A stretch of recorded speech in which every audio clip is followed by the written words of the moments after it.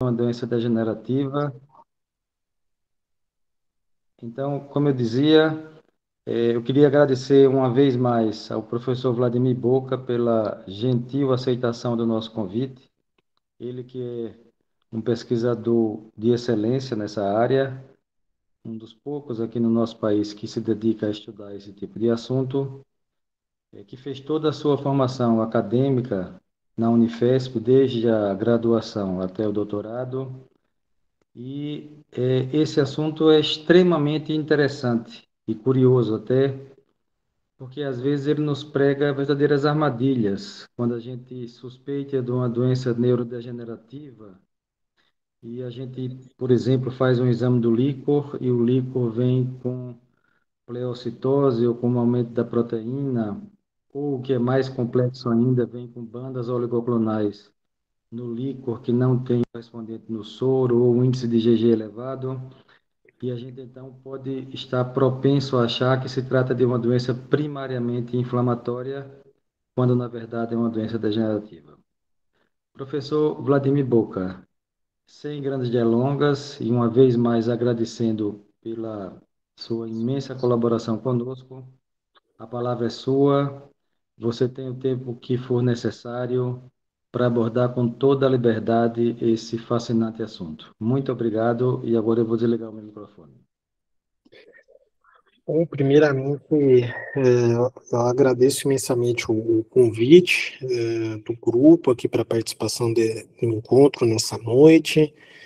É, acho que é uma oportunidade bem, bem legal, realmente, para a gente trazer um, um dos braços aí de temáticas talvez mais, mais complexos aí, que vem ganhando um, uma importância enorme nos, nos últimos anos, né, é, que é justamente o, o braço dos aspectos inflamatórios relacionados às doenças neurodegenerativas.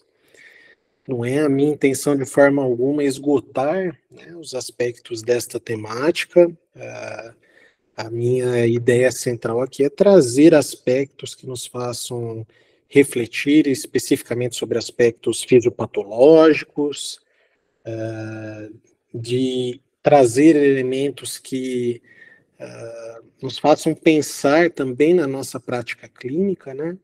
Dessa forma que, que tragam, sem dúvida alguma, algum grau de inquietação para cada um de nós aqui presentes, para uh, a gente ir atrás de mais informação, né? agregar mais, mais dados nesse sentido. Então, agradeço muito essa oportunidade. Uh, aqui é a minha declaração de, de conflitos de interesse em relação a, a, a, essa apresentação. Não tenho nenhum aspecto específico de, de conflito relacionado à, à temática. Esse é um sumário, na realidade, sobre os principais aspectos que eu vou falar na minha apresentação. Então, a gente vai falar um pouquinho, inicialmente, dos aspectos gerais sobre o tópico inflamatório dentro do contexto neurodegenerativo. Eu vou dar uma ênfase maior na sequência para a neurodegeneração na ELA. Eu sei que muita gente aqui também presente trabalha com, com parkinsonismos, com síndromes demenciais, né? Uh, mas realmente dentro do, do que é uma, uma proposta lógica de uma, de uma apresentação, uh, eu acabo escolhendo o tema talvez daquele que seja o, o componente que o, o, dado inflamatório mais ganha importância aí das pesquisas e das evidências dos últimos anos. Trago alguns dados da correlação sistema linfático, neuroinflamação e neurodegeneração, como que é feita essa interação e como que a gente pode tirar algumas soluções também dessa, dessa questão, e do eixo microbiota intestino-cérebro, inflamação e neurodegeneração. Então, são esses quatro tópicos principais que eu vou abordar aqui na minha apresentação. Então, inicialmente, falando a respeito da, da existência né, de componentes inflamatórios ou mecanismos inflamatórios dentro da fisiopatologia de, das diferentes doenças neurodegenerativas, praticamente todas as condições que a gente pensar em, em contexto de neurodegeneração, a gente tem algum braço inflamatório envolvido, seja isso em doença do neurônio motor, demência frontotemporal, a gente falando propriamente dito de Alzheimer, doença de Parkinson, idiopática, as formas atípicas de parkinsonismos, né, as outras taupatias, Huntington, enfim, a, a questão inflamatória está presente em todos esses cenários. E alguns componentes são fundamentais no sentido de uh, trazer uma maior ou menor importância a esse componente inflamatório dentro dessas condições neurodegenerativas. Um deles, sem dúvida alguma, é o fator de predisposição genética, seja esse fator individual, naqueles cenários especialmente esporádicos dessas doenças neurodegenerativas, seja um componente familiar para aquelas situações, aqueles cenários hereditários, né? ou que existe, de fato, um mecanismo monogênico, por exemplo, bem estabelecido. Uh, mas também, como a gente vai ver, mecanismos inflamatórios sistêmicos, né, ou neurológicos propriamente dito, ou seja, o compartimento sistêmico ou o compartimento, a gente poderia dizer assim, intratecal, né, também tem sua importância. Eventos inflamatórios agudos, que funcionam como mecanismos de triggers, de desencadeantes, seja esses elementos ambientais, né, ou fatores neurotóxicos, como, como a gente vai ver. Uh, o desbalanço dentro do eixo neuroimune de fatores e mecanismos anti-inflamatórios e pró-inflamatórios, seja isso para uma resposta celular ou para uma resposta tumoral, que a gente vai ver também. Uh, as disfunções tanto da barreira hematoencefálica quanto do sistema linfático, a gente vai ver como que funciona isto o mecanismo de imunossenescência e o chamado inflamaging, que a gente vai falar um pouquinho à frente, as chamadas inflamossomopatias e as hiperativações de vias inflamatórias centrais, e também uh, as questões de outras disfunções neurometabólicas, incluindo, por exemplo, as disfunções mitocondriais, levando a, a, aos componentes inflamatórios também.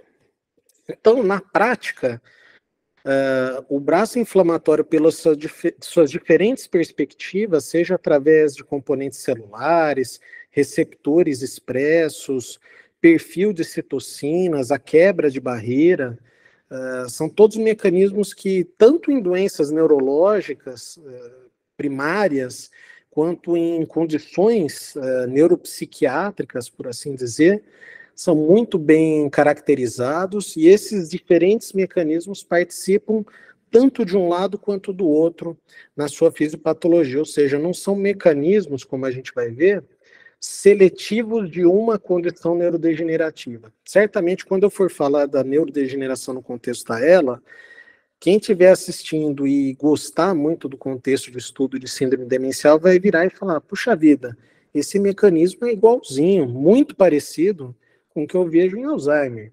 Quem trabalha com miopatia vai olhar e falar: puxa vida, miopatia com corpo de inclusão tem um monte de coisa em comum. E realmente essas vias, essas condições, né, compartilham muitos mecanismos uh, entre si. Então, quando a gente fala de doença neurodegenerativa, o primeiro conceito que vem para a gente são os chamados agregados proteicos. A dúvida é sempre se o agregado proteico ele é um reflexo, né, ele é, na realidade, uma via final ou se ele é uma via inicial daquela situação toda uh, do processo de neurodegeneração. Na realidade, a gente vai ver que os dois componentes participam muito próximos, né, muito associados. O próprio agregado proteico é capaz de ativar vias neuroinflamatórias, então ocasionar a ativação imune e a partir daí os seus diferentes marcadores, que são justamente aqueles biomarcadores que a gente procura tanto, né, para tentar de uma forma mais precoce, identificar o paciente, seja isso por exame de imagem, líquor, marcadores, né, biomarcadores, e seja para biomarcador diagnóstico ou para biomarcador de segmento, para questão terapêutica. Então, essa é uma linha muito lógica. A gente não pode esquecer que o simples fator da gente ter essa hiperativação também já é algo que vai estimular a formação de mais agregado e essa história toda vai se perpetuando. A gente vai ver isso em detalhe como ocorre. Então, esse é o modelo principal da chamada hipótese de início-progressão né, em relação às diferentes condições neurodegenerativas. Então, tenho diferentes fatores né, iniciais, incluindo mecanismos de, genéticos, né, que tornam o indivíduo mais suscetível seja individualmente, seja em termos familiares, para aqueles contextos hereditários, mecanismos ambientais, infecciosos, nutricionais, questões de estilo de vida, né? Então, por exemplo, tabagismo, a questão uh, de drogas ilícitas. Então, a gente tem todos esses mecanismos que, em maior ou menor grau, interagem para a ocorrência, né, de ter a, o desencadear desses mecanismos de proteinopatias, né? A gente sabe que muitas dessas proteinopatias hoje elas são proteinopatias multissistêmicas, de uma forma, na realidade, não dissociada, né, mas conjunta a um braço inflamatório nisso tudo, e a via final acaba sendo a ocorrência da neurodegeneração. Quanto mais neurodegenera, mais eu vou ter aquele braço inflamatório se perpetuando, e aí existem as diferentes fases prodrômica, clínica, de progressão da condição neurodegenerativa. Então, eu acho que isso é, esse é um modelo bastante simples, na verdade, de compreensão, mas que ele facilita muito uh, a compreensão do, do, momento mais adequado em que as intervenções, uh, pensando em questão de terapêutica, para o braço inflamatório, etc., eh, devem de fato ser, ser bem uh, utilizadas. O que eu digo aqui para vocês é aquelas vias clássicas ligadas à ativação inflamatória, via do JAK-STAT, via do MAP-kinase NF-κB, via dos inflamossomos pela NLRP3, Uh, são vias que de fato estão muito presentes aqui. E esses mecanismos de ativação de via inflamatória também estão presentes nos nossos componentes, especialmente gliais. Então a gente tem uma visão muito neuronal né, da, da neurodegeneração, mas a gente vai ver aqui hoje que os componentes gliais, especialmente microgliais e astrocitários, tem uh, um papel enorme aqui dentro desses mecanismos de perpetuar a resposta inflamatória. Então, a via da Jackstat é principalmente daquelas dependentes do ativador de receptor de citocinas. Então, a gente vai ver um perfil de citocinas que dão mais esse perfil pró-inflamatório. Os receptores tipo Toll-like, por exemplo, já tem um perfil mais de ativação de MAP-kinase, NF-κB, quem que ativa muito esse sistema do Toll-like? Por exemplo, pequenas partículas, uh, tanto neuronais quanto de agentes infecciosos, né, epítopos em comum, que permitem a ativação dessa via e perpetuar esse mecanismo. A gente vai ver que daí tem muita questão de interação com o mecanismo ambiental. Assim como a gente tem aqui também a participação, uh, no caso das inflamassomopatias, uh, de outros mecanismos, né? São vias bem mais complexas, com uh, disfunção de autofagossomos, uh, de disfunções de vias de Caspaz, enfim, são bem mais complexas nesse sentido. Os tipos celulares, na realidade, eles não vão trazer uma diferença para a gente significativa quando a gente pensa no compartimento neurológico periférico, né, então no sistema nervoso periférico em si, daquele compartimento central, né. O central é muito claro para a gente, né, com uma barreira íntegra, todo mundo aqui desde o primeiro ano de faculdade estudou, aprendeu quais são os componentes oligodendrogliais, microgliais, os diferentes tipos de astrócitos, não há dúvida quanto a isso. A grande questão é, e aquele indivíduo que é mais suscetível a quebrar a barreira dele, ou que ele tem fatores que tornam essa barreira uh, um alvo mais simples para que esses componentes inflamatórios atravessem a barreira e consigam modificar toda essa regulação natural que a gente tem. Afinal, defesa, o nosso organismo está fazendo o tempo inteiro. E limpeza, especialmente no sistema nervoso central, é algo muito peculiar, como a gente vai ver falando aqui do sistema linfático também um pouquinho à frente. Então, na prática, como que funciona esse sistema? Eu tenho, então, por exemplo, um mecanismo de lesão neuronal, uma lesão axonal, no caso. Tenho a lesão axonal, a gente libera uma série de componentes, né, de padrões moleculares associados a essa lesão, os DAMPs, pequenos epítopos, uh, mais do que os suficientes para que exista um mecanismo de ativação da micróglia da gente. Então, esse mecanismo de hiperativação da micróglia é o que permite que exista um perfil de produção de citocinas que sejam pró-inflamatórias, ou seja, aquelas que vão estimular e manter, por exemplo, os nossos astrócitos hiperreativos. Por um lado, se isso acontecesse em termos de mecanismo de defesa num contexto agudo, etc., não seria algo tão ruim. O problema é isso cronicamente ocorrendo e desfazendo todo um sistema muito bem conectado e interligado. A gente causa uma disfunção dentro da integridade desse sistema, assim como da própria barreira hematoencefálica. Abriu a barreira, aí surge um grande problema, que a gente passa a ter interação com componentes propriamente ditos sistêmicos, que vão trazer já peculiaridades de informação deles e integrar parte dessa resposta inflamatória. E como que isso acontece? esses componentes têm uma invasão, seja no parênquima, seja licórica, etc.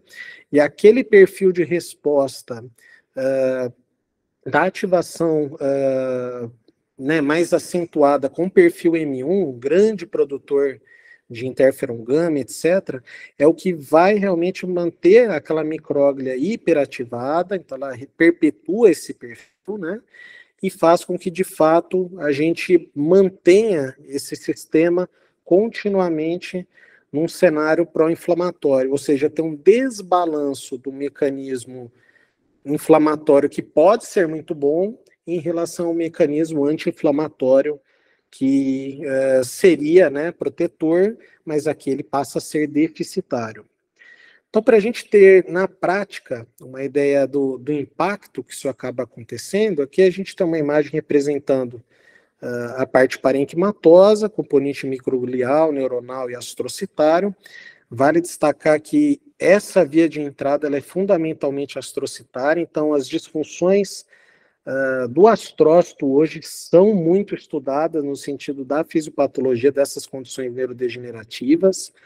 Então, existe a quebra de barreira pelos mecanismos que a gente citou, vai ocorrer realmente a invasão por esses espaços, né, por essa disfunção diretamente, e acaba se perpetuando realmente um perfil né, de hiperativação de citocinas mais central. E quanto mais isso acontece, mais eu vou ativar astrócito, mais ativa aquela via do NF-κB que a gente comentou, e aí mais vias hiperativadas, a minha resposta vai ser perpetue-se esse mecanismo. E esse é o grande problema. Como parar isso se a gente está falando de um momento que 99% dos indivíduos, levando em consideração a história natural da doença, eles não são nem prodrômicos. Né? Não, não seria nem adequado a gente falar em assintomáticos.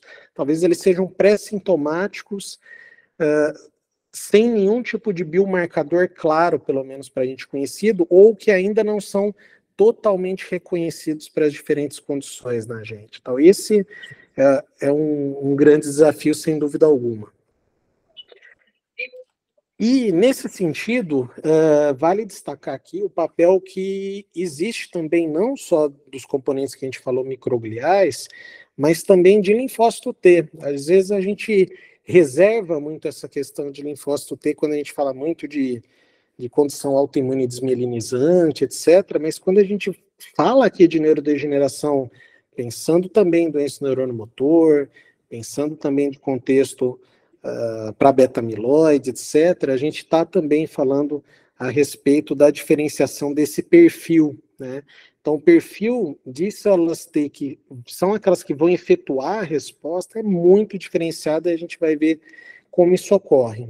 Então, nesse cenário, é, o primeiro dado importante, né, o desbalanço. Se eu tenho um perfil de resposta que vai ser preponderante para um mecanismo pró-inflamatório, é neurotoxicidade que vai uh, vencer aqui a história, né, que vai preponderar. Se eu tiver algum marcador que eu reconheça precocemente a característica, ou saiba quem é o indivíduo de maior risco para desenvolver aquela determinada condição, eu vou perpetuar, buscar mecanismos para defender, né, causar a proteção e predominar aquele fenótipo neuroprotetor. Então, dessa forma, Uh, hoje, se, for, se vocês forem buscar, após essa apresentação, logicamente, dados sobre os perfis de ativação microglial, vocês vão ver que, por exemplo, existe perfil M1, perfil M2. Então, aqueles perfis muito diretamente relacionados à hiperativação de NF-κB, uh, de sistema de inflamossomos, são vias predominantemente com ativação dependente de perfil M1, que a gente diz, que são aquelas bem correlacionadas a mecanismos pró-inflamatórios. Então, produtoras de uh, espécies né, uh, do tipo óxido nítrico, com disfunção endotelial, espécies reativas de oxigênio, agentes pró-inflamatórios como TNF-alfa, interleucina 1-beta, interleucina 6, que a gente já conhece de uma série de outras situações em medicina, né, reumatologia, etc. E aí a gente cai num outro cenário bastante complexo, que é justamente como, como que a gente poderia pensar, né, levando em consideração essa fisiopatologia, todos esses mecanismos para a gente regular, né? Uh, a gente teria que ter um controle sobre esses fatores, né? Então, sobre toxinas que podem ativar as vias, sobre uh, mecanismos né, de componentes de epítopos que ativam, por exemplo, em bactérias, eventualmente em alguns vírus do, da própria uh, existência do material genético do vírus, que também consegue fazer ativação. E essas vias, né, no final da história toda, acabam levando realmente à ativação desse sistema do inflamossomo. Então, isso não é restrito, como a gente vê hoje muito, para aquelas síndromes autoinflamatórias, etc. A gente tem isso bem estabelecido dentro de doença neurodegenerativa também. E essa hiperativação, como eu comentei anteriormente, ela é dependente fundamentalmente de dois componentes originais, né, gliais nossos, micróglia e astrócito. Fundamentalmente são eles que comandam. Se a gente pensar em termos de fisiopatologia, né, você tem aqueles mecanismos encadeantes, pode ter correlação com trauma, né, crânioencefálico, etc. Tem um indivíduo que tem lesão estrutural, por exemplo, de doença microvascular, etc. Mas tendo o agregado proteico formado, a gente desencadeia aquela rota que a gente comentou a respeito da, do, dos mecanismos pró-inflamatórios. Então, é, falando um pouquinho de um desses grandes componentes, a gente pensa em TDP-43, porque são múltiplas disfunções aí correlacionadas, especialmente a doença neuromotora, ela. Então, o fato de existir TDP-43, durante muito tempo, a interpretação que se fazia é TDP-43 é consequência, é via final. De fato, não deixa de ser verdade, mas ele também é mecanismo inicial e perpetuador. Né? Então, o TDP-43 tem um potencial enorme de hiperativação de receptores tipo CD14, acabam estimulando, né, via do NF-κB, e aí a gente acaba tendo múltiplos mecanismos encadeados, ativação de via de caspase, uh, o próprio sistema de inflamossomo, NLRP3, então uh, veja que interessante, a, a, própria presença do agregado, a gente tem um, uma área de um receptor específica que consegue identificar porções daquela, daquele agregado proteico, esse agregado hiperativa uh, as nossas vias.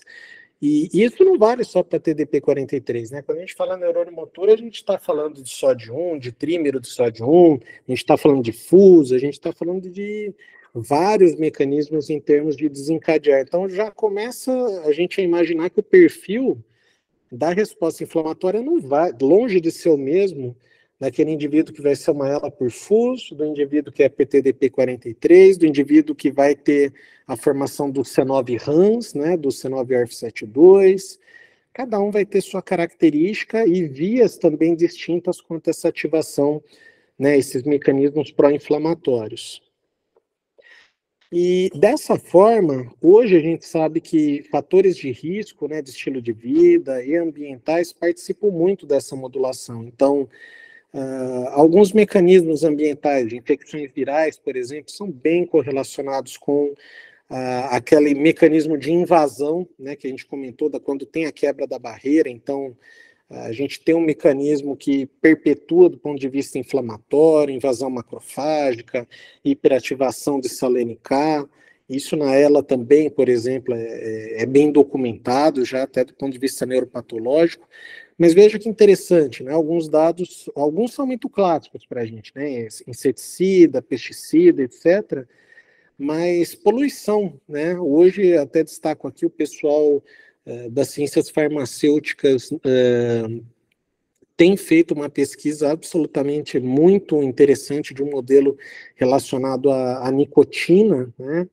Uh, pensando nessa, nessa correlação também de, de quanto que entra o peso para cada elemento, considerando aqueles indivíduos uh, de tabagismo, né? Então, quanto é poluição, quanto é tabagismo, etc., dentro da fisiopatologia nesses casos. E então, assim, é para mostrar que realmente a, aquela historinha de cuidar da questão física, mas por outro lado não hiperativar, né, a formação de espécie reativa de oxigênio também estão tão muito bem. É, é, a história do balanço. Né? É, vou passar um pouco aqui, mostrando rapidamente para vocês que quando a gente tem um, um fenótipo pró-inflamatório, é, não significa que por eu ter inicialmente né, derivado a minha resposta inflamatória dentro do meu compartimento para um perfil de resposta, por exemplo, M1, que o tempo todo a minha resposta vai ter que ser M1. Existe a possibilidade da gente converter e modificar isso sim, né? Uh, especialmente considerando fases em que eu tenha neurônio ainda viável, especialmente neurônio e componente glial que ainda não está hiperativado. Então, esse, esse é um, uma mensagem importante. Né? Existe uma janela de oportunidade para a questão terapêutica. Os estímulos para a questão pró-inflamatória, pensando na neurodegeneração como um todo, são os mais diversos. Então, os LPS de componentes bacterianos hoje são bem conhecidos. A gente vai falar também da questão da microbiota rapidamente. Uh, os agregados todos, seja a gente falando de alfa-sinucleína, de beta-amiloide, uh, da própria uh, questão da participação de outros mecanismos de citocinas inflamatórias sistêmicas, né, que fazem essa ativação também.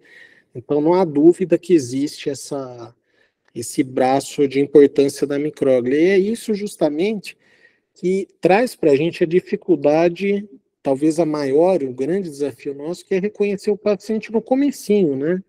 Quando a gente tem muito pouco, praticamente nenhum agregado proteico, a gente não tem esse braço de ativação da resposta inflamatória ainda, mas existe uma resposta inflamatória inicial e os fatores de risco daquele indivíduo, e então ele é um indivíduo suscetível, mas ainda não teve aquele trigger, aquele desencadear da doença dele.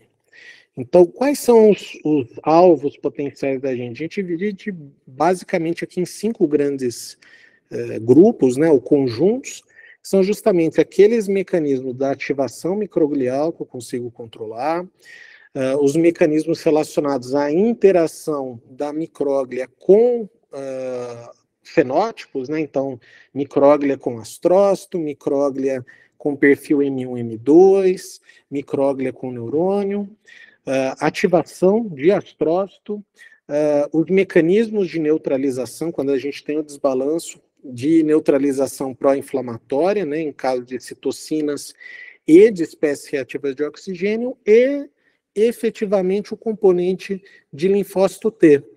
Então, assim, veja como a importância aqui é menor do componente de linfócito T do que em outras situações dentro da, uh, da questão de neurologia, né, de doença desmielinizante, etc., mas a gente tem aqui essa participação, sim. Então, Existindo a liberação, a produção de componente de agregado proteico, naquele indivíduo que é suscetível, por exemplo, geneticamente, ou tem fatores de risco, existe naturalmente uma hiperativação, né, indução da ativação microglial, assim como a astrocitária também. Dessa forma, se existe hiperativação microglial, mais mecanismo pró-inflamatório é liberado, mais citocina e mecanismo M1 acaba sendo induzido. Com isso, eu vou ter menos efeito de clearance em relação àqueles componentes de agregados proteicos. O astrócito, como a gente viu, quando ele está hiperativado, ele leva a uma disfunção da barreira, acaba tendo disfunção metabólica, produção de componentes de espécie reativa de oxigênio, temos uh, também produção de, de NO, né, induzível, e aí a gente acaba, no final dessa história toda, perpetuando o mecanismo inflamatório e a neurodegeneração ocorrendo no final dessa história toda. Então, é todo um caminho que a gente tem até a ocorrência da via final uh, da degeneração. Uh, obviamente, eu não, não tenho a intenção aqui de esgotar todos esses elementos falando aqui para vocês, mas uh, se tem uma coisa que é importante, a gente sempre ter essa imagem de uh, predomínio de linfócito T que vai estar tá hiperativado, né, que vai estar tá, uh, dando resposta efetora mais intensa, componente microglial hiperativado também, e, uh, de fato, o, o mecanismo do astrócito levando à disfunção da barreira. Então, em algum grau, um desses componentes sempre vai estar tá presente dentro da, das diferentes uh, condições neurodegenerativas. Logicamente que isso não significa que uh, componentes outros humorais, como por exemplo o sistema do complemento, não estão envolvidos. Lógico que eles estão, tanto que não é à toa que hoje a gente tem, por exemplo, estudo de medicação voltado né, a, inibir componentes do sistema de complemento, por exemplo, na ELA. A gente tem objetivamente também isso sendo estudado. Então, existe um braço fisiopatológico relacionado à, à questão do sistema de complemento. Isso não só para ela, isso vale para Alzheimer, isso vale para Parkinson também. Então, tanto para via clássica quanto para via alternativa. E aí a gente entra num cenário que a gente chama de imunossenescência. Né? O, falou de degeneração, a gente falou de envelhecimento, e o sistema imune também tem a sua questão de envelhecimento dos seus componentes, seja os seus componentes celulares, seja a efetividade da resposta que o componente humoral tem.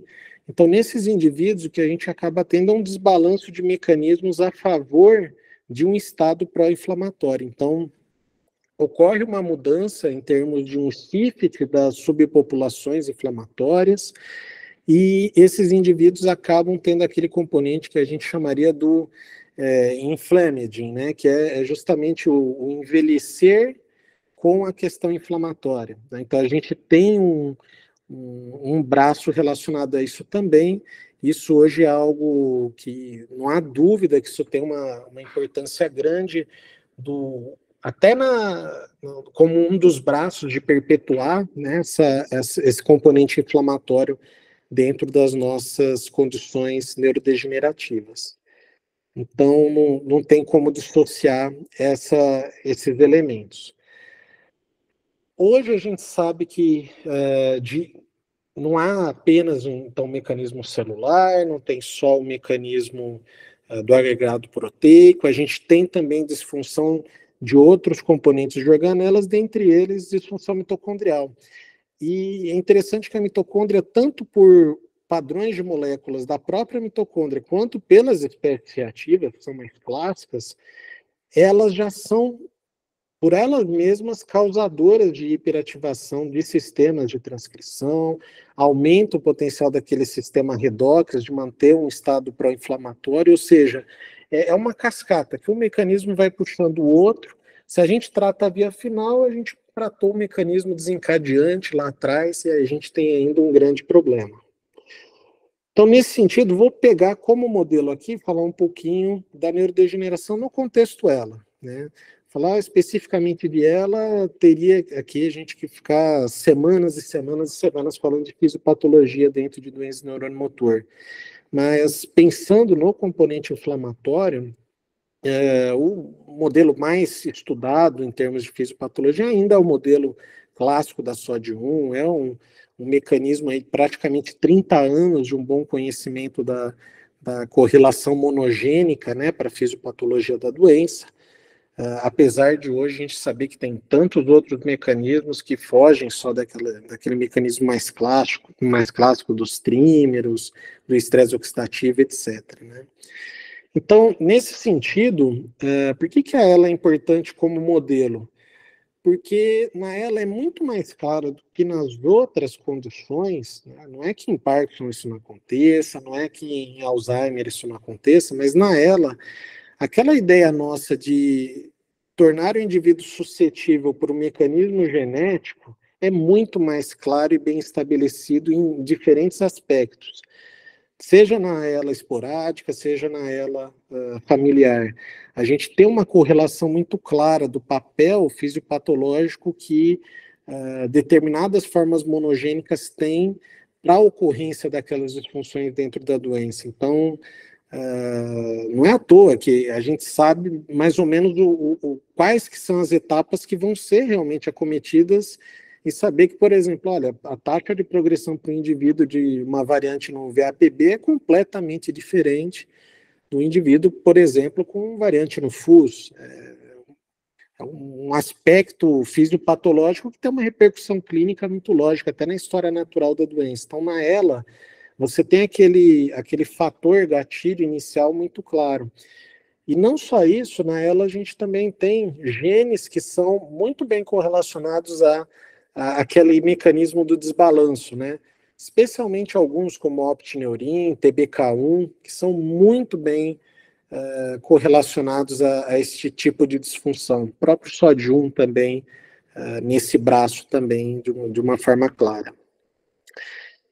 Então, nesse sentido, uh, o que acaba acontecendo é que, diante do indivíduo mais suscetível, seja com um mecanismo individual, seja com aquele indivíduo com o contexto familiar da doença, eu tenho um indivíduo que tem um risco maior, entra em contato com fatores né, ambientais, etc., ao longo da vida dele, e aí a interação que é feita dos diferentes componentes ambientais, uh, em termos sistêmicos, com quebra de barreira, com tudo isso, fazem com que esse indivíduo mais suscetível tenha facilidade, por exemplo, de hiperativar receptores, por exemplo, do tipo purinérgicos, receptores ligados à resposta pró-inflamatória. A gente comentou algumas das vias do JAK-STAT, por exemplo, e a gente acaba perpetuando e mantendo esses componentes inflamatórios, não só neuronal, né, mas glial,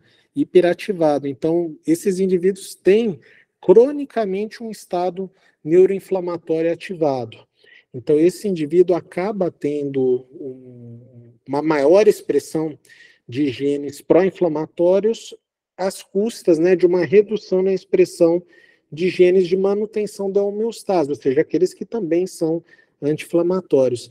Isso parece uma coisa meio óbvia, mas durante muito tempo houve um, uma grande negação, de certa forma, quanto ao braço inflamatório presente na, dentro do contexto da, da esclerose lateral amiotrófica.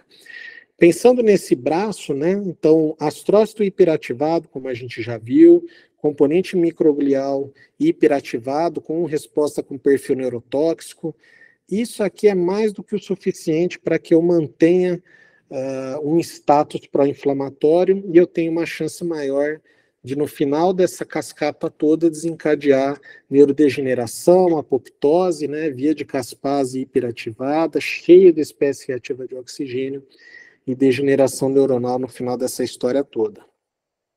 Passando um pouquinho aqui, uh, o que eu gostaria de comentar é que antes a gente achava que isso era algo bem localizado para o compartimento central, né? Isso tinha que ser um, o envolvimento do neurônio motor, eh, seja neurônio motor superior, inferior, e encerrava a história aí. Hoje a gente sabe que existe na fisiopatologia da própria ela uma participação muito clara de outros componentes, como sala NK, quando está hiperativado, ou de inibição de linfócito T regulador, ou hiperativação microglial já depois, né, da, é, tanto pós-migração, né, quebra de barreira hiperativação, quanto antes, pelo próprio agregado, ou seja, tem um, um mecanismo que vai uh, se autossustentando no sentido de pró-degeneração, né, pró-inflamatório e pró-degeneração. Então, uh, a via final é perda neuronal. Né?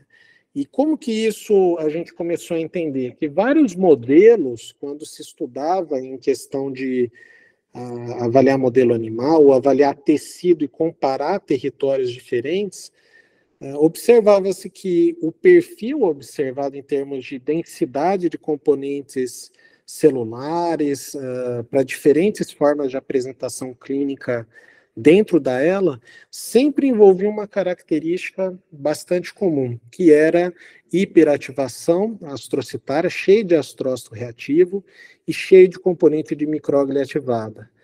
O que diferenciava um pouco era um pouco mais de participação naqueles indivíduos com a ela com uma progressão mais rápida, quanto ao componente de célula dendrítica hiperativada. Isso era a impressão que a gente tinha inicialmente, a gente está falando aqui de 2011. Com o passar do entendimento, a gente viu que, na realidade, dependendo do contexto neuropatológico base da ela, se é TDP-43, se é FU, se é só de um, o começo da história é completamente diferente. Então, por exemplo, os indivíduos que são só de um, né, que tem como base o trímero para só de um, eles partem de um fenótipo predominantemente M2 e fazem aquele shift durante a progressão da doença uh, já com biomarcadores alterados, etc., para um fenótipo M1. Isso, por exemplo, não é um perfil que a gente observa no TDP43 clássico. A gente não tem essa, esse shift de um modo tão claro. Nos indivíduos também com forma do FUS não é algo esperado, algo observado de uma forma tão clara. Da mesma forma, a ocorrência da formação dos agregados é completamente diferente uh, em cada um desses cenários. Geralmente, o indivíduo com agregados relacionados a, a SOD1 e a, a TDP43, eles têm um perfil relativamente parecido quanto ao papel do agregado. Em FUSO, a gente já vê um papel muito pequeno. Então, a importância do agregado para aquela fisiopatologia de perpetuar é muito menor para o contexto FUS. Ah, então a minha estratégia para os indivíduos em que a base for neuropatológica for ligada ao FUS, vai ser uma intervenção não tão voltada ao agregado em si, a hiperativação pelo agregado, mas sim por outras rotas. E hoje a gente sabe que, nesse sentido, ativação uh, de receptores tipo Toll-like está tá bem uh, correlacionado. Também hoje já se pensa em terapêutica nessa linha moduladores de TNF-alfa, inclusive já teve no passado, né? Vocês já devem ter visto o número de drogas e abordagens pensando em componentes inflamatórios para ela que já se tentou, né? Então, como já se tentou tanta coisa para mecanismo inflamatório, dentre eles ah, TNF-alfa, interleucina 6, né? Que são justamente aquele, aquela parte do braço inflamatório que tem uma lógica dentro daquela ativação do, do fenótipo M1. Qual que talvez tenha sido o grande problema né, ao longo do tempo? Um deles, sem dúvida alguma, é o momento de escolher e incluir o paciente. Né? Provavelmente o, o momento mais importante dentro da história natural e da fisiopatologia da doença teria sido bem antes né, do que acaba sendo no estudo clínico. E talvez a gente não tenha olhado o desfecho correto, né? os endpoints não tenham sido os mais apropriados, né? certamente tem um peso disso aqui também.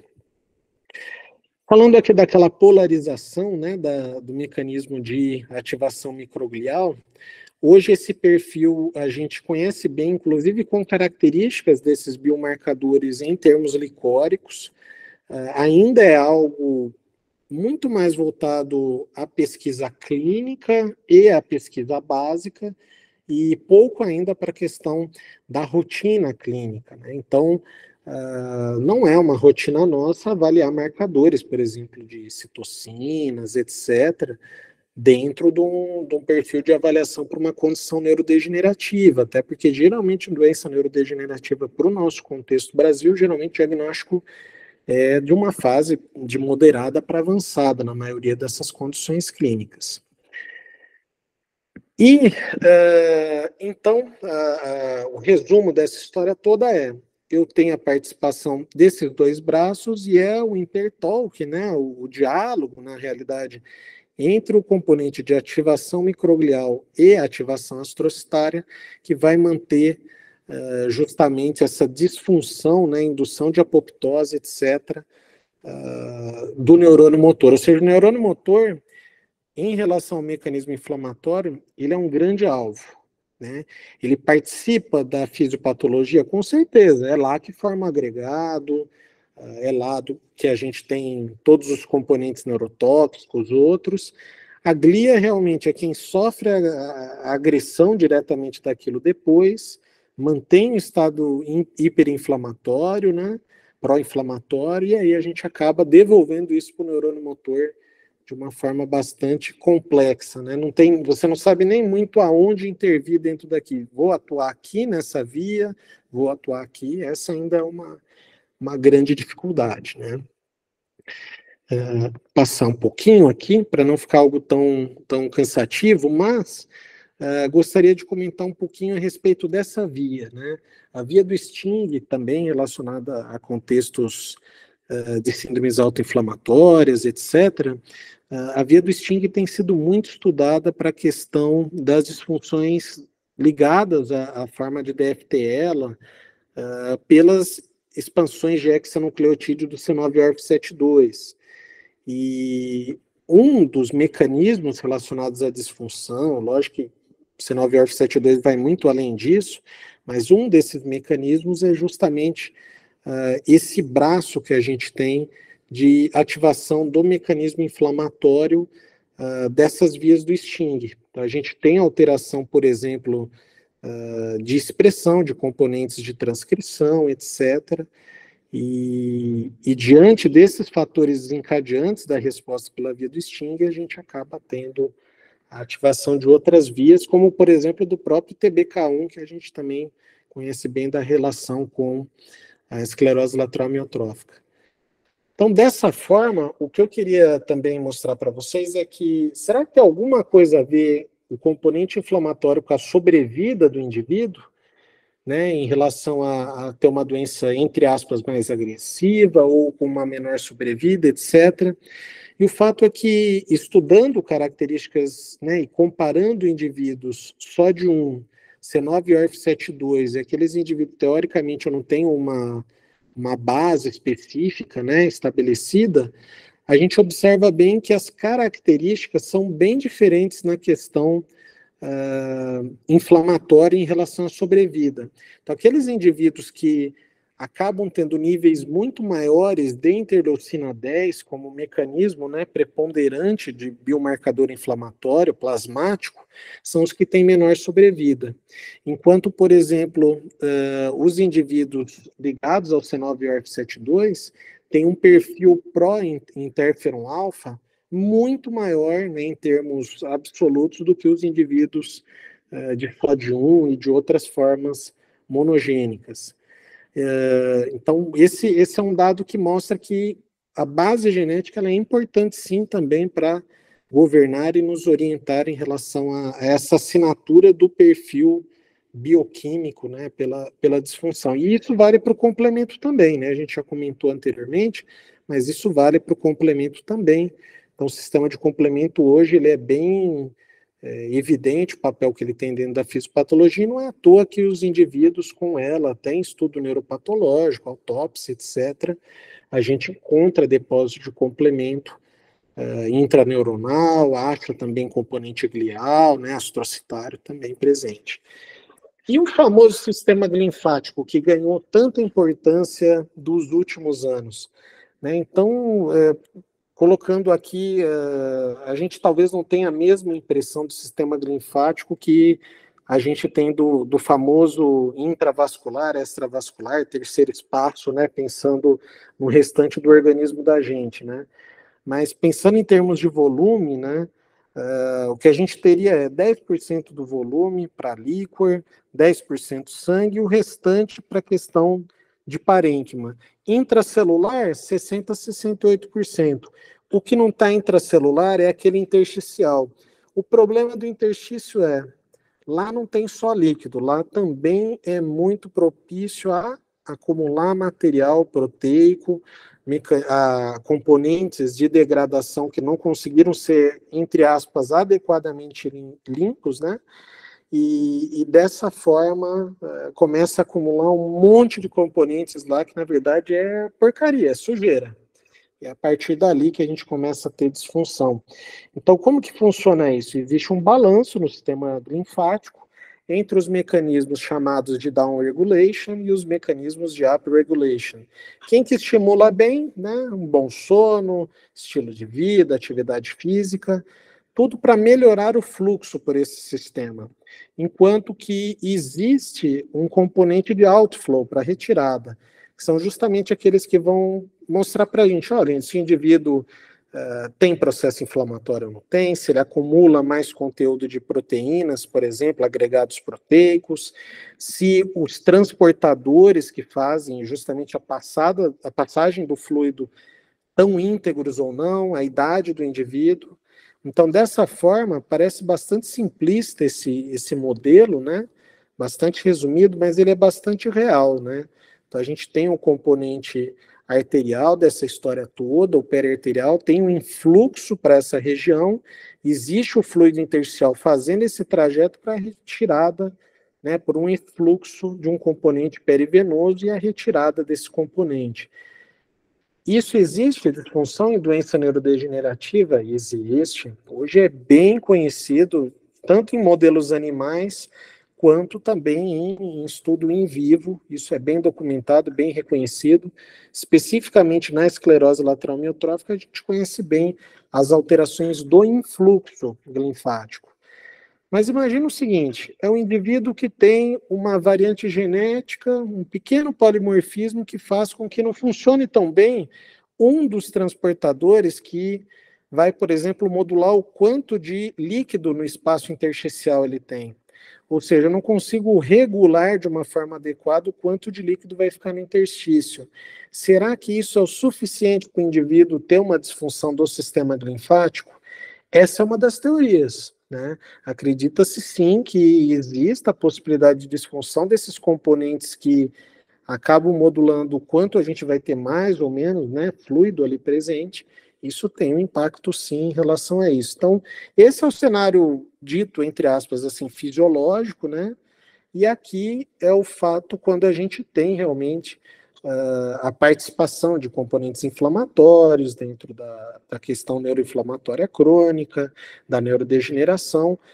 Obviamente existe um, um, toda a estrutura, né, que acaba sendo desfeita, perde aquela estrutura das tight junctions clássicas, e esse influxo não acontece é, de uma boa forma. Então, existe uma dificuldade para acontecer esse fluxo, lembrando que aqui no meio do caminho, tudo aquilo que a gente falou anteriormente está acontecendo. A micróglia está ativada, o meu componente do astrócito é, ele está hiperativado, ele abre mais a barreira hematoencefálica, então migra mais tipo celular.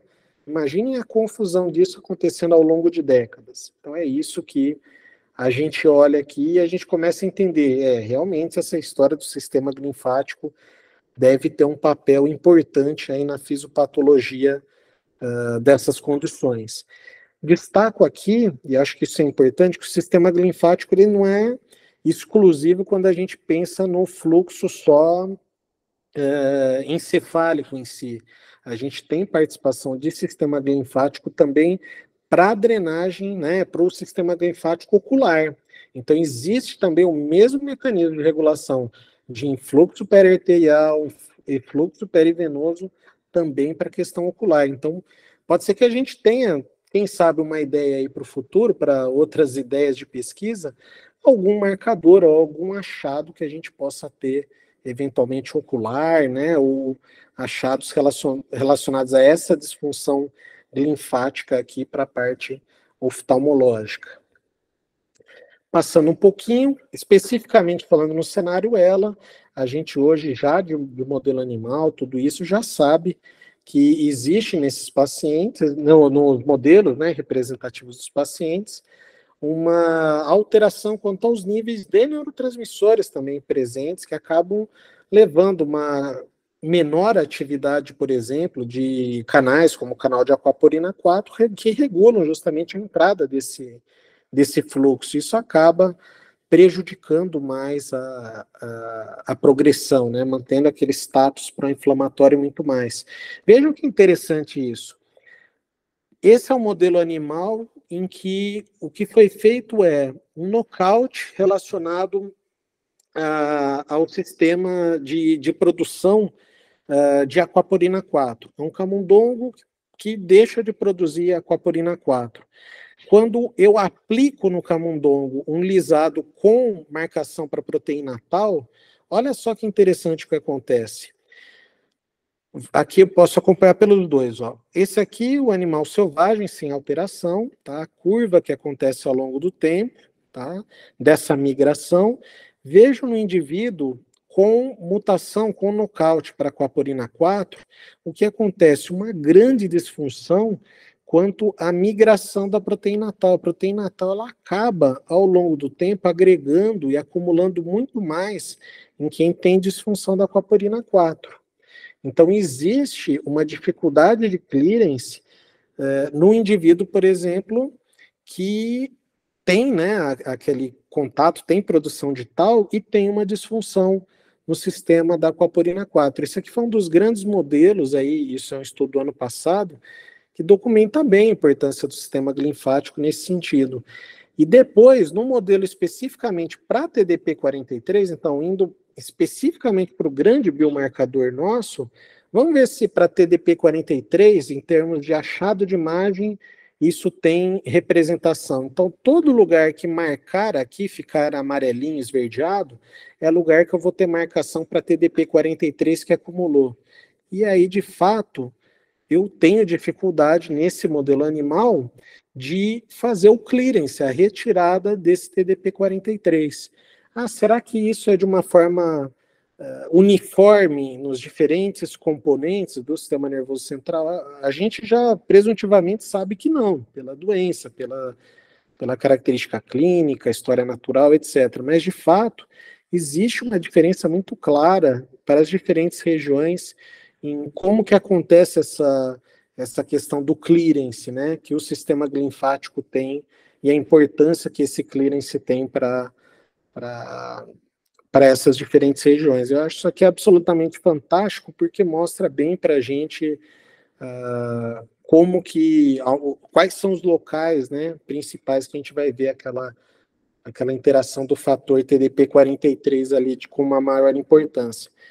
E aí a gente entra num, num, último capítulo que eu gostaria de falar hoje, que é justamente uma coisa muito da moda hoje, que é o papel da microbiota dentro da fisiopatologia para essa questão neuroinflamatória e neurodegenerativa. Né? Um dos braços, sem dúvida alguma, isso vale para Parkinson, isso vale para um braço também embriônica, isso vale também num braço hoje para ela, é esses mecanismos da desbiose, etc. Então, quando tem essa disfunção dessa barreira também, que é a barreira não é hematolicórica, hematoencefálica, mas a, a intestinal, propriamente dito, a gente tem mecanismos que acabam facilitando a gente ter tanto uma resposta né, de um perfil pró-inflamatório, quanto uma facilitação maior para aqueles agregados proteicos conseguirem alcançar o sistema nervoso central. Isso tem vários caminhos hoje propostos, via vagal, que é uma, uma via de transmissão clássica, por assim dizer, né, nos modelos mais clássicos, mas a gente sabe também que existe uma outra situação que é mudança de microbiota, né? Todos aqui certamente já tiveram algum contato de pacientes que tiveram, uh, por exemplo, cirurgias abdominais, tiveram procedimentos, etc. E no transcorrer né, do acompanhamento clínico, etc., eventualmente esses indivíduos desenvolvem quadros degenerativos, como a população geral também tem. O fato é que, para algumas situações, Uh, a gente observa algumas características, peculiaridades de mudança da microbiota. Então, por exemplo, indivíduos pós-bariátrica que cursaram com doença neurônio motor, já começa -se a observar que existe uma característica da mudança da própria microbiota como um potencial mecanismo relacionado àquela disfunção que a gente vai tendo. Ah, será que é, é o fator bactéria em si, é o LPS da bactéria? Uh, será que é a facilidade de quebrar essa barreira intestinal ou manter um estado hiperinflamatório lá sistêmico? Ou será que o problema para a gente é, é, a produção de outros elementos metabólitos tóxicos, né, por exemplo, que vão ter ação central? Isso a gente não tem uma resposta uh, completamente clara ou definitiva. O fato é que existe sim a, a participação de alguns desses componentes, de poliaminas, por exemplo, uh, de alguns ligantes, etc., que vão fazer hiperativação de astrócito, de micróglia, como a gente já conversou tudo uh, também anteriormente. Então, existe sim a produção desses componentes, dessas toxinas também, é um perfil muito pró-inflamatório e a gente acaba facilitando que exista essa hiperativação central. Tá? Uh, e eu destaco aqui, para finalizar, um, um, dado que eu acho muito interessante, que é esse, vale a pena ler esse estudo, acho muito interessante, que, veja que interessante, o camundongo, lá com a questão da expansão, C9ORF72, modelo, aqui a gente tem microbiota dele, né, a gente tem as questões uh, motoras, etc., dentro do modelo animal, e o perfil né, de autoanticorpos, autorreativos, citocinas, etc. Né, isso sangue e aqui medula.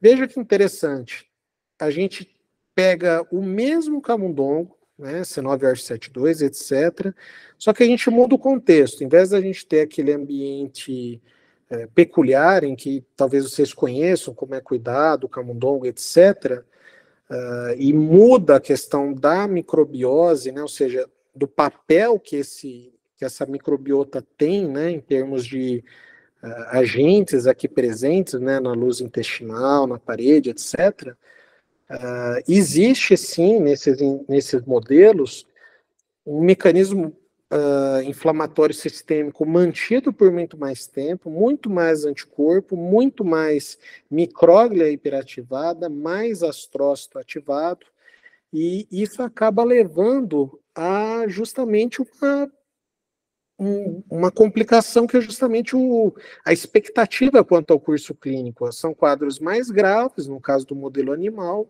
e com uma expectativa de sobrevida menor o modelo. Então, veja que isso é em modelo animal, bem documentado, é, é um modelo que você existe o controle do fator genético, né, monogênico, você tem como regular.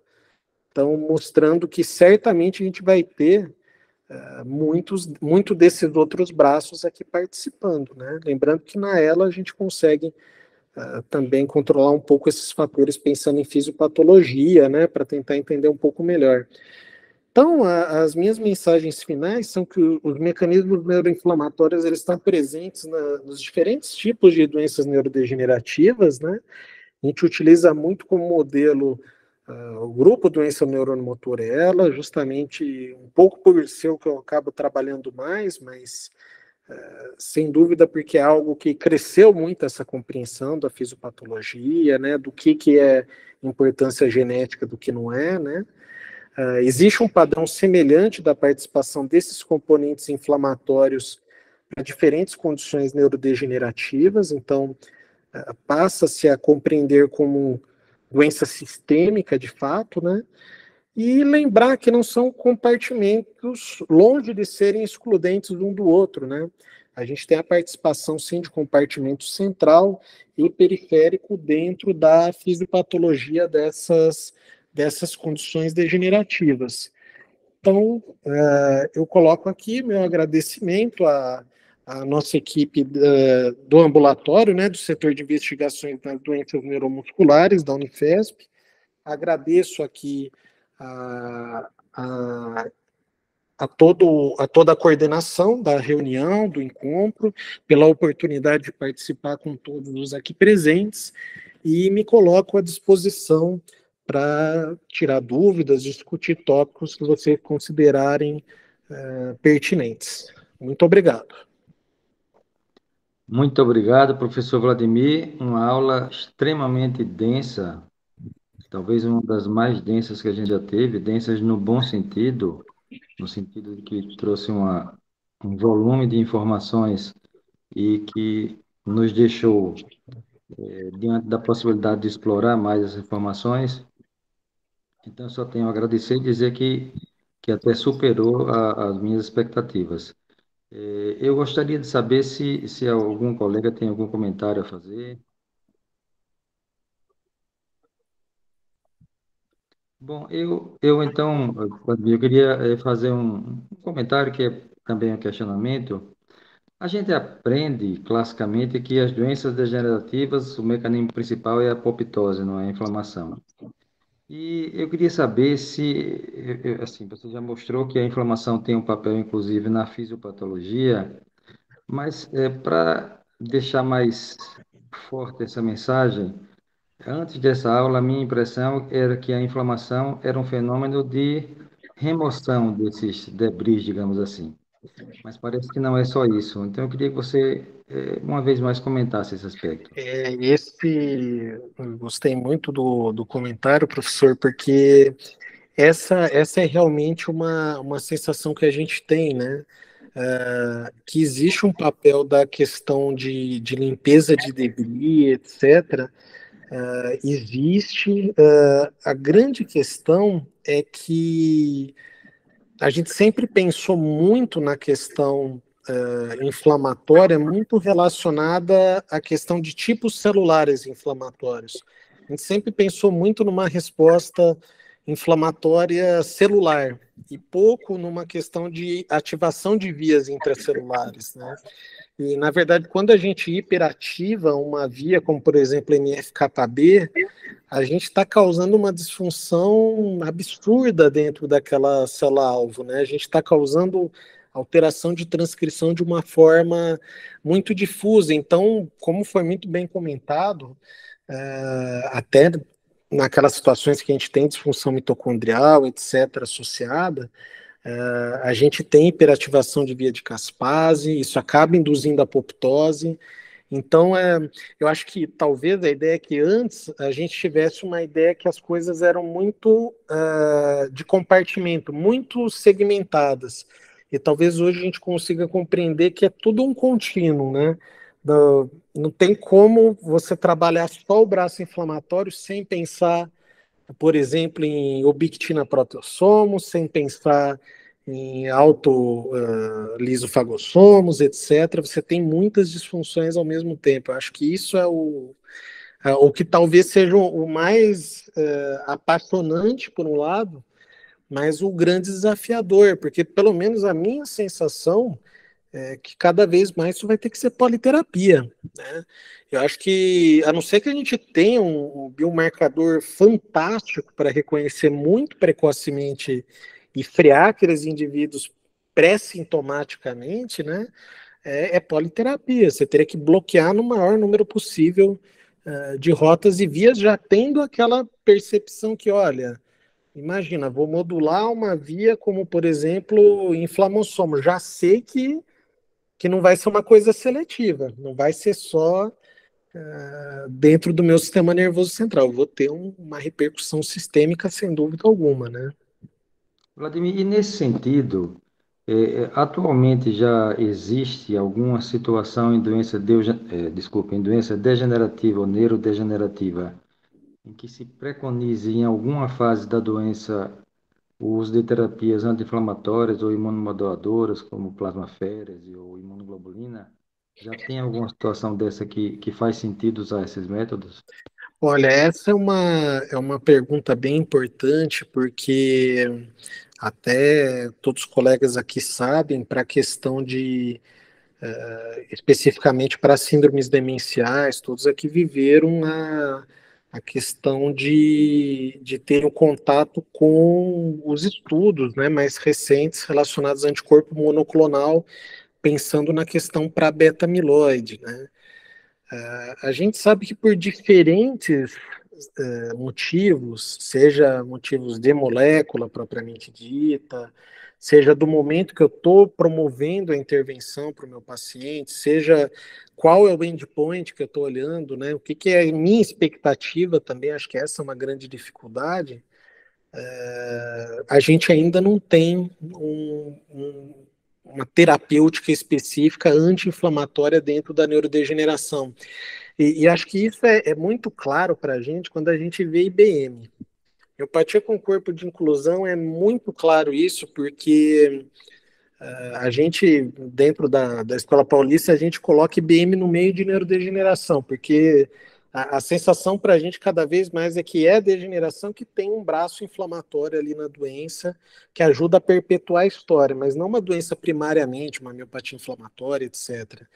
Até aquela história, IBM já se tentou de tudo, já se tentou de tudo, já tentou imuno, já tentou anticorpo monoclonal para diferentes alvos, metotrexato, corticoides, etc. Mas o, o grande fator é tentar identificar quem que é o indivíduo que não pode ter o gatilho e se esse indivíduo tem o gatilho, o que, que eu posso fazer naquele momento que ele teve o contato, o desencadear do mecanismo degenerativo dele. Acho que essa é a grande dificuldade da gente hoje. Para uh, certamente a gente já deve ter a droga correta disponível. Acho que o, o segredo vai ser identificar o momento de, de propor essa terapêutica, né? Propor essas, essas ideias aí, né? Algum outro colega quer fazer algum comentário, alguma, enfim, alguma intervenção? Vladimir, então eu tenho uma, uma última questão, que é uma questão de cunho mais prático eu, ainda. Eu acho que tem uma pergunta da, da professora Rufina. Ah, eu ah, gostaria, sim, de só, é, é, se tiver tempo, posso falar um pouquinho? Pode sim, pode sim. Desculpe, eu não vi sua mão levantada, tá. desculpe. Ô, Vladimir, primeiro parabenizar, adorei, é um assunto que eu adoro. E Vera, que me passou, eu não, eu não tinha me ligado no, na, na aula. E olha que coincidência, o meu último paciente hoje no consultório, um caso interessantíssimo, um bancário, 43 anos, me é, chegou desesperado com o diagnóstico de esclerose lateral amiotrófica. Só que, assim, aqui no Espírito Santo é assim: se é ela, eu tenho que confirmar que é, se não é, eles mandam, mas não é mesmo. Então, eu acabo refazendo muito exame. Se é Sim. é positivo, se é negativo, eu tenho que dar a minha opinião, porque é, ao longo desses 20 anos trabalhando, a doença do neurônio motor é, é algo que eu encaro com o, o maior compromisso diagnóstico, né? Então, esse paciente chegou, primeira coisa que eu faço, eu vou ver padrão de reflexo, se tem liberação, se não tem liberação, qual a distribuição da fraqueza, porque hoje é muito diferente de fazer um exame de ela que eu fazia há 15 anos atrás. Hoje, na hora que eu olho o doente, eu já posso imaginar, hum, isso é um VAP-B, nossa, isso é uma FUS. É, é, muito gostoso ver como que isso já mudou na minha cabeça, né? Sim. Esse paciente, o que, que me chamou a atenção? Ele não tinha espasticidade, não tinha liberação piramidal, não tinha cãibra, não tinha fasciculação. E eu, eu, assim, realmente eu achei que a expressão clínica não me lembrou o neurônio motor. Aí eu falei com ele: olha, eu vou começar a fazer o seu exame, mas eu quero que você pense alguma coisa pertinente na sua vida, cirurgias que você já fez, doenças que você trata, é, alguma febre ou doença infecciosa que você tenha tido recentemente. E quando eu fui examinar, eu percebi que ele tinha uma cicatriz enorme no abdômen. Eu falei, essa cicatriz aqui, que aí já fui pensar em alguma úlcera, alguma degeneração combinada, apesar de que não tinha nem queixa sensitiva e nem liberação piramidal. Ele falou, doutora, eu era obeso, eu tinha 130 quilos na minha juventude, eu fiz uma cirurgia bariátrica em 2005, olha que coisa interessante. E aí, quando eu cheguei na agulha, eu agulhei todos os segmentos eu não peguei nenhuma fasciculação, nenhuma atividade fazendo antes e depois da contração. Mas me chamou a atenção porque ele tem um padrão neurogênico difuso, mas não é um padrão de uma ELA. Por quê? A unidade motor, o máximo era 7 milivolts, o máximo 30 Hz. Eu não precisei mudar o ganho de tela, mas, assim, eu terminei o exame e vim para casa com a nítida sensação que a bariátrica dele tem a ver com o padrão eurogênico que eu vi no exame. A minha pergunta para você é a seguinte, Vladimir: como fazer o follow-up desse paciente? A doutora Vera Lúcia, que também está aqui ouvindo a aula, é que vai receber esse paciente que eu encaminhei para o consultório dela.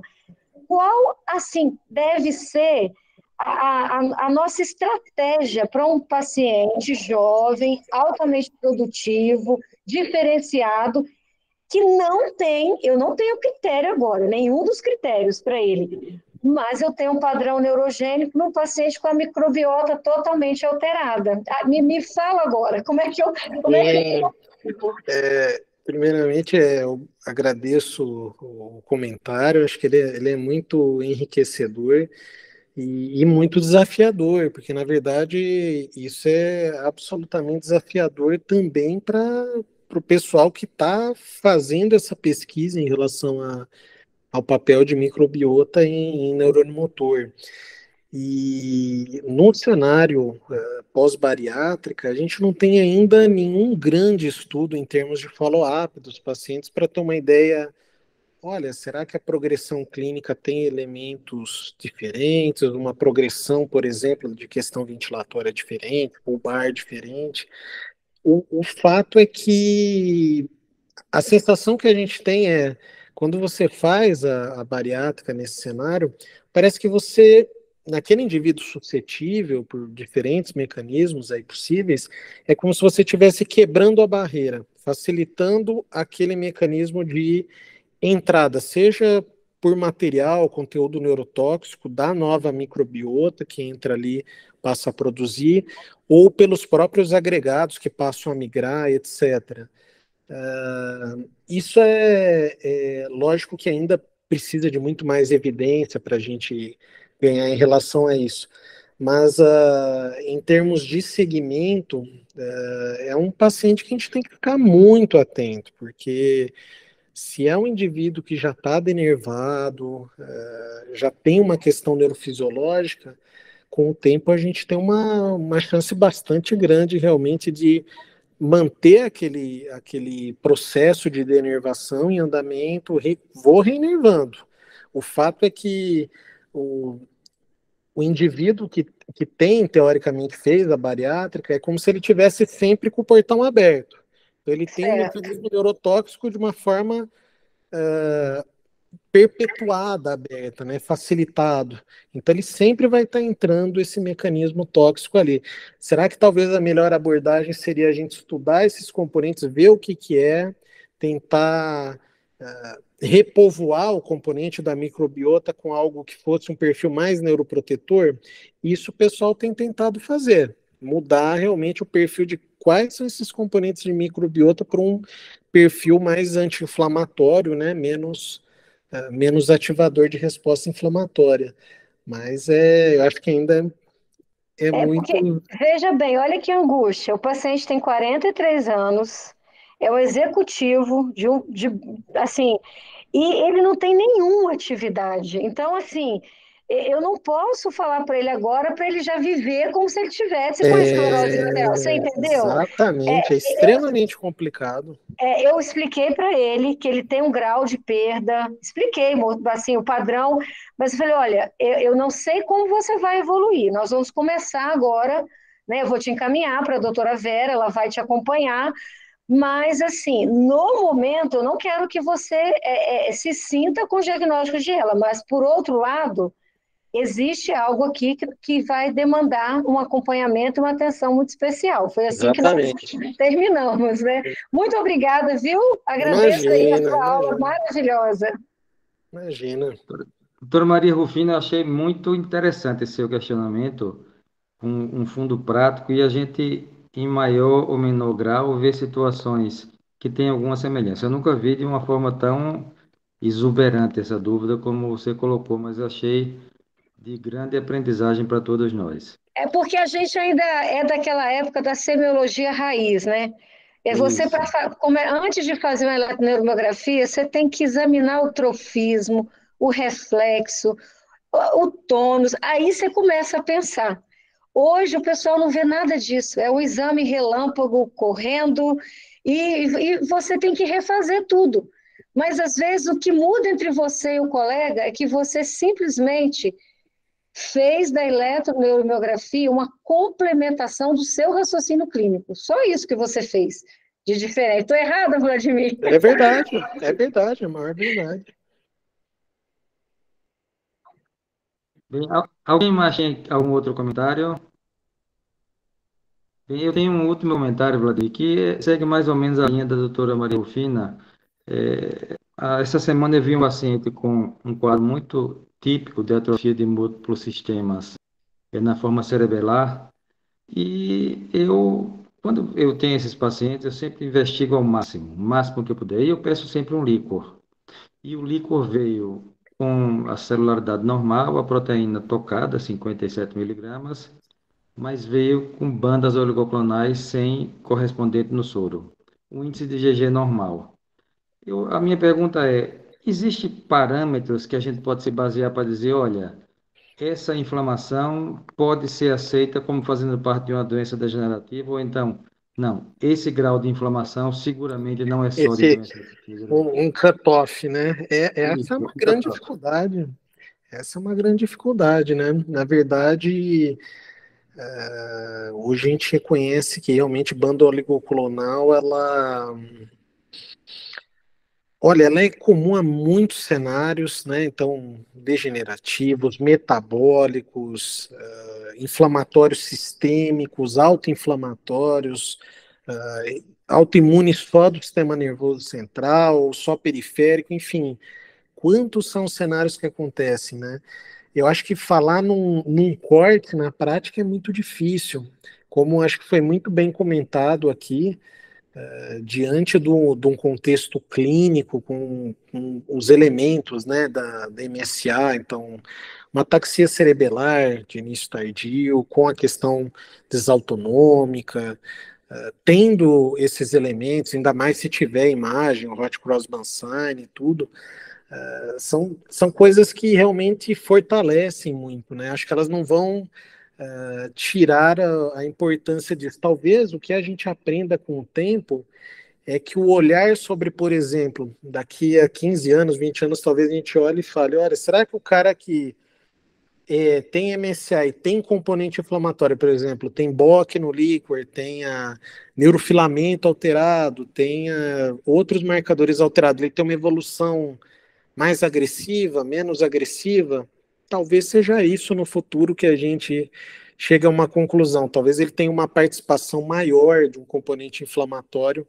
mas não que a gente consiga realmente hoje delimitar como, como foi muito bem dito pelo professor em relação a, a me preocupar mais ou menos nesse sentido da, da questão de, de investigação, né? Então... Muito obrigado, Vladimir. As suas explicações realmente são muito enriquecedoras. É, eu queria saber se alguém mais, algum colega quer fazer alguma intervenção. Bem, já que não, não tem ninguém mais que quer intervir, eu queria uma vez mais, Vladimir, agradecer a sua participação no nosso grupo, dizer que seguramente pessoas de vários estados do Brasil vão assistir essa aula, vão abrir os olhos a partir dessa aula e é, a sua contribuição como um verdadeiro professor, ela vai ser muito mais ampla, porque várias outras pessoas vão aprender com essa sua aula, é, graças à tecnologia de a gente deixar ela na internet. Muito obrigado e contaremos com você, espero e acredito, em outros momentos, em outras aulas. Eu agradeço a oportunidade, professor, e estou à disposição também uh, pessoal, conforme tiver perguntas, tudo isso que às vezes a, as perguntas vão surgindo aí com o tempo, a gente está à disposição aí também. Tá bom? Muito obrigado mesmo pela oportunidade. Bom, muito obrigado a todos, uma boa noite. E na quinta-feira que vem nós teremos uma outra atividade. É, habitualmente é quinzenal as aulas, mas dessa vez é, a gente teve uma semana sem aula e vamos ter na próxima semana uma outra aula também muito interessante. Muito obrigado a todos, uma boa noite e um bom final de semana.